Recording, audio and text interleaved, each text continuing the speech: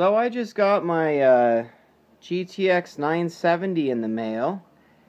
And uh, I'm going to upload this video next after my most recent one because look at that, the fans. It's the same as the 560s.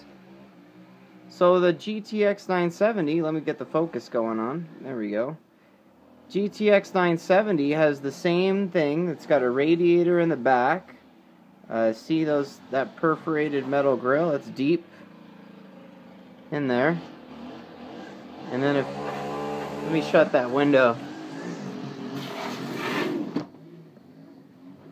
And then the fans on top. So yeah, but the why? So why does the 720 or whatever the 760 I can't remember that I had last time have that funky dory fan?